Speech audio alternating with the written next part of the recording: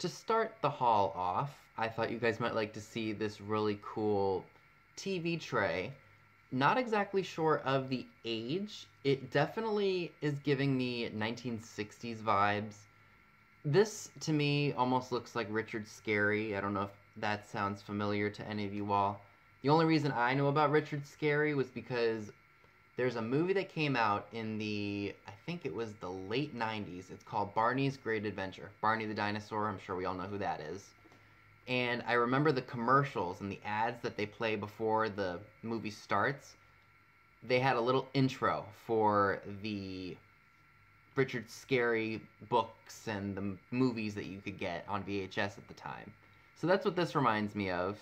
So we've got a bunch of characters here sitting and watching a TV with a clown. And sorry, Misty, but I'm zooming in on it. There's the creepy clown. Creepy clown, creepy clown. Yep. But I thought that was really cool for two bucks. I've never seen that before. So yeah, I mean, I couldn't say no to that, and there is a big old dent right here, but what's vintage without a bunch of dents and dings? Am I wrong? So in my travels, and looking through all the fun stuff that you find at Goodwill, I found this 1989 The Farmer Says Say toy. I had this as a kid, and I remember it being in one of my toy boxes. And it just brought back a lot of memories from when I was little, and I'm sure I probably drove my parents absolutely nuts with this thing. So, this is really cool, and just because it's from my childhood. And it does work. Uh, if you remember, about two and a half, three years ago when we moved into this house, once it was okay to start going thrifting and we got the house squared away and, you know, set up to the way we wanted it, I went out and I found a See 'n Say from the 1960s in the original box. Of course, it doesn't ha- probably have as much value because it doesn't work. It's been messed with a lot over the years. But I still like it because you don't see that very often. At least I've never seen it. But here's how it works. You just pull down this little lever and whatever animal this arrow is pointing at, it will tell you what noise or what the sound of the animal is. So Here's a turkey. So yeah, that you get the basic concept. It's just a piece of nostalgia from my childhood, and that's why I kind of had to have it. The last larger item I'd like to share, and probably my most favorite, is this framed image of a young girl who's looks like she's writing down something in a journal. I really liked the look of it. I can definitely tell it had age to it because for once the flash is actually doing something very helpful and showing you the detail of the pressing of the paper when this was made. I mean, look at the detail in her hair. And look at the frame here. That looks like butterflies of some sort, or maybe even leaves. So this has definitely got some age to it. And I believe that this kind of art on the frame is called tramp art. If I had to date just the paper piece in the frame, I would say probably late 1800s, early 1900s, just judging by the the look of the way the girl's dressed and the style of you know just the color. Like the colors on this thing are magnificent. I've never seen anything like this before. So i said i'll jump on it. And while i'm really not into victorian looking stuff sometimes when it's this old and it's this cheap you just gotta grab it. Now that we've seen all the larger stuff let's go ahead and check out the smaller stuff so the very first thing I'd like to share with you all, small-wise, is this really cool jar. It's not very big, but it's in the shape of a thimble. It's got a decorative floral stamp right here. It's raised or like embossed or stamped into the ceramic.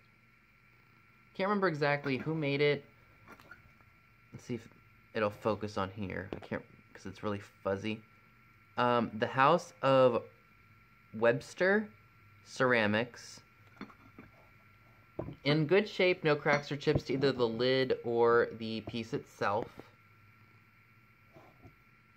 this doesn't go for a whole lot on eBay, so be on the lookout for this at a live sale.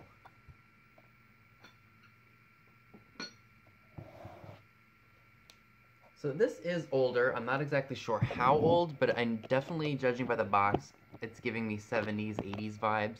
It's a Melnor electronic water timer, time-o-matic. Paid $2 for that, I think. Last one of these, this exact one sold for about $15, so if it's something you're interested in, the link to my eBay shop is down below. It is already listed. So if you like old school electronics to tinker with, this would be right up your alley. So this next item has kind of a funny story to it. Not that it's related to what I'm about to tell you, but it's still kind of funny. Okay, so this is one of those Peter Pan records. Just here. It's for Tubby the Tuba. And there's a little bit of a funny story uh, with the word Tubby. So if you all know, when I did my Fatbird Finds Your Hometown Challenge, I talked about Montgomery County, Maryland, uh, the Gaithersburg, Germantown, Rockville area. And down there, it's very congested, very hard to get around. Like, some people work 15 minutes away, but they have to leave like a half hour ahead of time because it takes them 45 minutes to get to their jobs sometimes, depending on where you are.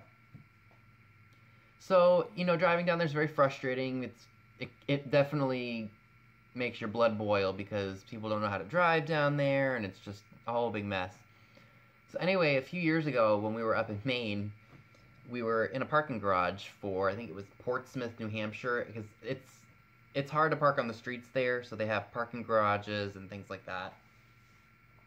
So a lot of the spaces of course were filled because it was summertime and it's kind of touristy there so we drive up to I think like the last, either second to last or the last um, row or like the second to last story of the garage. And we see a spot, and there's this like really heavy set dude, like really heavy set, like you couldn't believe he was still able to walk heavy set. He was sitting in a camping chair waiting to, I guess, reserve this spot for somebody. And of course, my uncle still lives down in that area in Montgomery County. So, of course, the inner Moco in him just kind of came out and he's like, we'd be able to park here if this tubby would move. And because sometimes it's not what somebody says, it's how they say it and my grandmother was notorious for this. Like she was a trucker on the road. Like she just didn't have any tolerance for stupid people. so yeah, he literally he didn't say it to this guy's face, thank God. I would have been a little horrified had he said it to the to him directly, but oh my gosh, it was so funny. Just the hatred and disgust in somebody's voice sometimes makes what they say 10 times more funny than what they actually said. So that's the little fun story with this. This, I think, got donated by somebody who had a space in a vendor mall and they just couldn't sell it. I contemplated on getting it because it was already a good price there, but I was like, eh, I could probably find something like this anywhere. But this go around, I decided to grab it for that specific reason just because I thought it was really funny, and because of that significance with my uncle calling some really heavy set dude Tubby because he couldn't move. I'm weird like that. So I found this piece of nautical decor. It was 50 cents. It's in the shape of like a hurricane bottle. And what attracted me to it was this fish that's on it. And you all know I like my fish stuff. And you got a little bit of a ocean scene. The fish is coming off of there. And of course, I pick it up and look what it says on the bottom. Avon. Yeah, an Avon bottle. Can you believe it? Of all the things for me to be attracted to in a thrift store, I'm attracted to an Avon decanter. I think this did hold bath oil at some point in time because, you know, that kind of stuff is very, like, nautical. Like, you know, a lot of beachy stuff can be for the bathroom. But I thought it was cool. If I had a lid to it, I would probably fill it up with some water and uh, do what I did with the seahorse and the mermaid and just add some food coloring to it. But since I don't have that, I'm not gonna do do that because I don't want to accidentally spill it. And knowing me, I will do that at some point and stain my carpet. So yeah, I thought that was kind of cool. And for 50 cents, I was thinking about it. I think I saw it one week, and then another week I said if it's still there, I'll pick it up, and it was. So I paid the whopping 50 cents for it. So these are going into Tarnished Treasure's friend mailbox, which I need to get to her. It's a pack of Scribbler crayons by Whitman. They have been used, of course, but I know she likes her Whitman stuff. And it was only a quarter.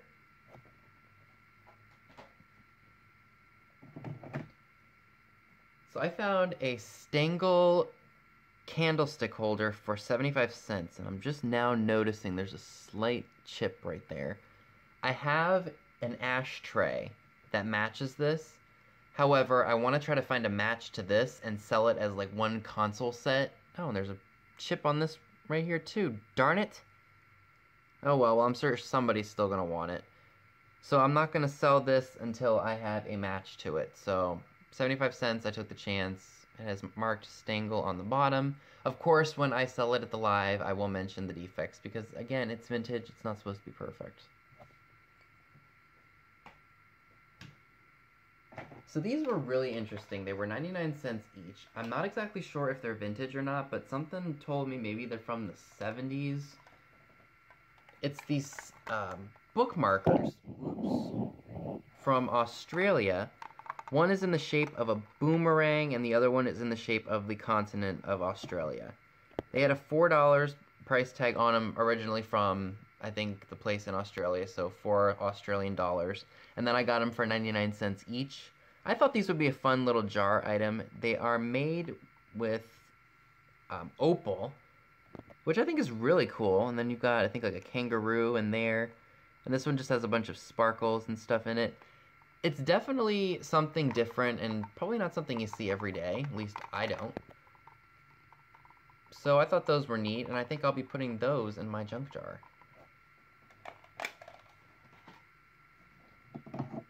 Now, I haven't decided whether or not I'm keeping this next item. I might, or I might put it in a live sale, or I'll probably look it up on eBay just to make sure it's not worth a ton of money. I should have probably done that before I filmed this, because I wasn't sure. It's a pink poodle. Um, I think this is for your earrings. It's made by the Revere Manufacturing Company. I know that these were popular in the 1980s. I don't know if this one is from that era or not because the pink is very, very bright and vibrant. I will do a little research. If it is worth my time to be putting on eBay, you'll see it in my eBay shop hopefully by the time that this video uploads. It was 99 cents, by the way. I, as soon as I saw it with the figurines, I'm like, that has to come home with me.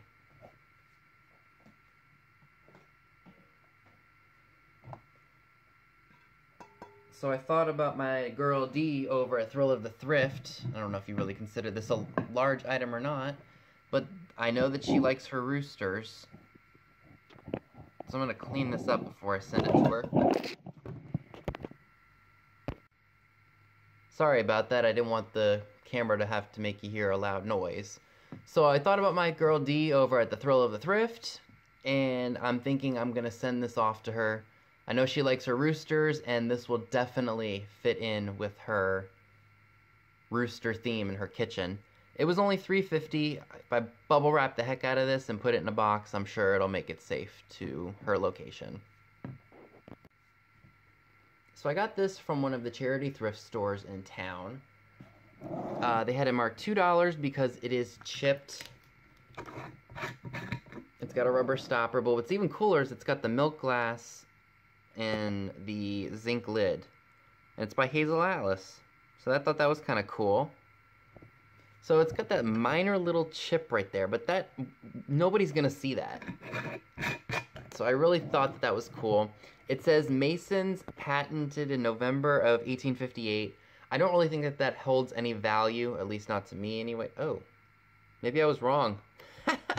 There's a big old chunk of glass missing out of this, and I'm just now seeing this after a few weeks, so I don't know what I'll be doing with that. I thought it was just the rim. I didn't even notice this because the tape was over it. I w- I didn't see that. Oh well, maybe I can redonate it or I don't know what I'll do with it.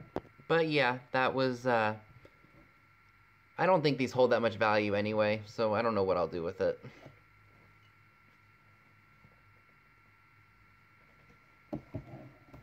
Alright, and the last thing I'd like to share with you all is a vintage Scrabble game. You all know I like to pick these up, mainly just for the tiles and for the holders. I know that a lot of people like to craft with those.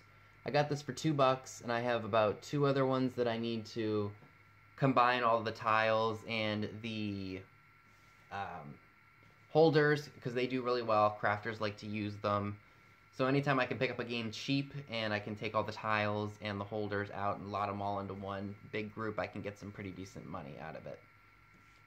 So I hope you all enjoyed this haul video and I hope you guys like my new intro. Let me know what you think about it in the comments below and I will see you all in my next video.